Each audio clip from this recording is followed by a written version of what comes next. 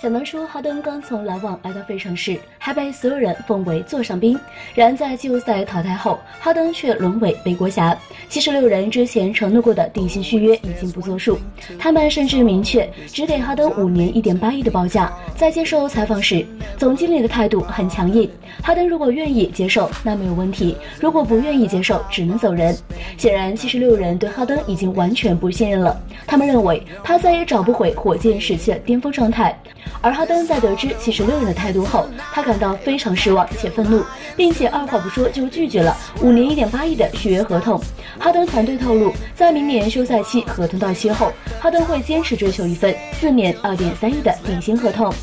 目前，哈登与七十六人管理层已经陷入谈判的僵局，外界纷纷猜测哈登可能要离开费城。联盟其他球队听闻消息后都蠢蠢欲动。近日，洛杉矶媒体更是爆出快船要招募哈登的消息，而当家球星小卡将亲自招募，很多球迷对此表示期待。